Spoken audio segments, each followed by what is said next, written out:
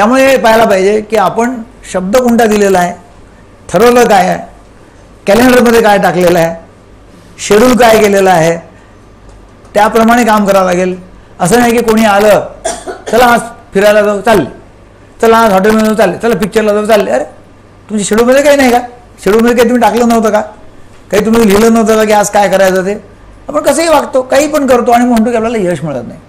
त्या टाईम जो आहे ना तर हा टाईम मिनटामध्ये वाया जातो. घंट्यामध्ये वाया जात नाही. मिनटामध्ये. तुम्हाला सांगतो मिनटामध्ये कसा जातो. आपण गरम पाणी आता गरम पाण्याची गरज नाही. समजा आता आतापर्यंत गरम पाण्याची गरज आपण ऑन करतो आपलं गिझर आणि गिझर ऑन केल्यानंतर पाच मिनटं लागतात गरम पाणी व्हायला. पाच मिनटं गेले. जेव्हा आपण बदल्यानंतर घरातली आई किंवा पत्नी म्हणते की नाही थांबा तुम्हाला गरम आणून देते. गेले पाच मिनटं. आपण म्हणजे वाट पाण्यामध्ये थांबतो. गेले दहा मिनटं. तर असा मिनिटांमध्ये आपला वेळ वाया जात असतो. तासात नाही वाया जात. झोपायला आपण लागतो आणि आपण झोपतो तो पंधरा वीस मिनटं झोपत लागत नाही. झाला गेला वाया. प्रत्येक ठिकाणी आपला असा वेळ वाया जातो आणि तो जर पाहिला तर आपला जवळपास दोन ते तीन तास वेळ वाया जातो. आणि मग आपण म्हणतो आम्हाला वेळ पुरत नाही. तर आपल्याला हे पाहावं लागेल की आपलं शेड्यूल लिहिलेलं आहे की नाही बरोबर. आणि त्याप्रमाणे आपण काम करतो. किती वेळ प्रत्येकाला आपण अलॉट केलेला आहे. किती वेळ प्रत्येकाला अलॉट केलेला आहे. आणि त्याप्रमाणे आपण काम करतोय की नाही करत. का आपण कसंही पण काम करणार. म्हणजे मग वेळ पुरत नाही असं होणारच नाही. नेहमी आपण जेव्हा टाईम मॅनेजमेंटमध्ये म्हणतो तेव्हा आम्ही म्हणतो की बाबा तुम्ही डेलिगेट डेलिगेट डेलिगेट आणि डेलिगेट करा. डेलिगेट करा म्हणजे काय? डेलिगेट करा म्हणजे इतरांकडनं काम करून घ्या.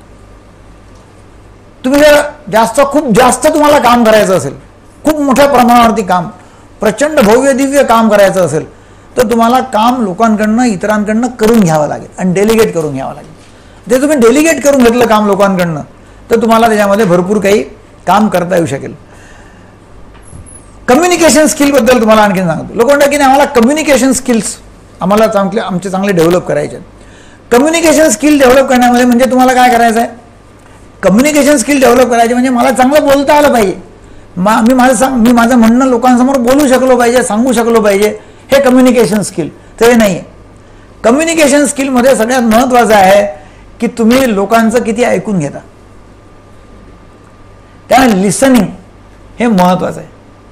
कारण का? मला जर काही कम्युनिकेट करायचं आहे तुमच्याबरोबर मला जर कोणाला काही सांगायचं आहे तर त्याचं मन त्याचं डोकं जर आधीच खूप भरलेलं आहे तर मी काही सांगितलं तरी त्याच्या डोक्यात जात नाही. कारण त्याचं ऑलरेडी फुल आहे. कारण मला काय करावं लागेल? मला जर कम्युनिकेशन स्किल माझं डेव्हलप करायचं आणि मला कम्युनिकेट काही करायचं आहे कोणाला तर पहिले त्याचं डोकं खाली करावं लागेल. त्याला काय म्हणायचं आहे त्याच्या डोक्यात काय काय भरलेलं आहे? ते जोपर्यंत मी खाली करत नाही तोपर्यंत माझं काय आहे तो ते ऐकायला तयार होत नाही. आता तुम्ही पहा पेशंटलाही लागू करा. होमिओपॅथीमध्ये आपण डिटेलमध्ये हिस्ट्री घेतो. का बरं? कारण तू बोल भाऊ बाबा काय आहे ते सगळं येऊ दे बाहेर सगळं येऊ दे बाहेर सगळं येऊ दे बाहेर. पूर्ण जी आपण हिस्ट्री घेतो. नुसती तुम्ही जर हिस्ट्री घेतली ना पूर्णपणे त्याची त्याला अर्धा पण पाऊन तास बोलू दिलं पन्नास टक्के त्यात असा आराम पडतो. का बरं? कारण लोक म्हणतात की आमचं कोणी ऐकायलाच नाही. इतकं डॉक्टरने ऐकून घेतलं इतकं सगळं समजून घेतलं. काय काय इनकम्प्लिशन्स आहेत सगळं ऐकून घेतलं. मला एकदम हलकं हलकं वाटून आलं. असं वाटतं की बापरे खूप चांगलं वाटायला लागलं मला. एक आमची पेशंट होती आणि ते परिचित पण होते. काउन्सिलिंगला माझ्याकडे आले होते. म्हणे आता ब्युटी पार्लर टाकलं आहे म्हणे. आणि पुण्याची गोष्ट आहे. म्हणे म्हटलं म्हणे ब्युटी पार्लर चाललं चांगलं चाललं पाहिजे म्हणे. वा असं तसं अमकं टमकं. म्हणजे ठीक आहे तुम्हाला एकच काम सांगतो. चांगलं चाललं पाहिजे ना म्हणे. म्हटलं तुम्ही एकच काम करा. म्हटलं ज्या काही तुमच्याकडे लेडीज येतील त्यांना फक्त बोलतं करा आणि त्यांचं ऐकत जा ऐकत जा ऐकत जा ऐकत जा. आणि ब्युटी पार्लरचं पण काम करा आणि त्यांचं ऐकत जा. त्यांना ऐकणार काही कोणी घरात नसतं सासू ऐकत नाही नवरा ऐकत नाही. तुमच्याकडे येऊन ती बाई बोलत जाईल बोलत जाईल बोलत हलकं तिला वाटलं बाबा इथे गेले की आपलं ब्युटी पण चांगली होते आणि मन पण चांगलं होतं आणि मन साफ होऊन जातं. ती असं खरंच करायला लागली म्हणजे एवढी बायकांची गर्दी आहे. कारण त्यामुळे की इथे गेलं की आम्हाला आनंद वाटतो समाधान होतं मन शांत होतं.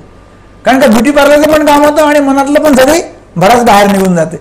आणि चांगलं वाटायला लागतं. कारण का होमिओपॅथीमध्ये पण आहे की गिल्ड फिलिंग आहेत गिल्ट लोकांना खूप गिल्ट फिलिंग आहेत मनामध्ये. अपराधीपणाची भावना असते.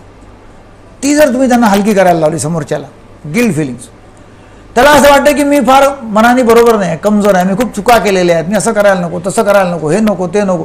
ते त्याचं तुम्ही हलकं केलं त्याला जर हलकं करायला लावलं लोक स्वतःवरती प्रेम करत नाही आणि इतरांवरती प्रेम करत नाहीत. ते त्याची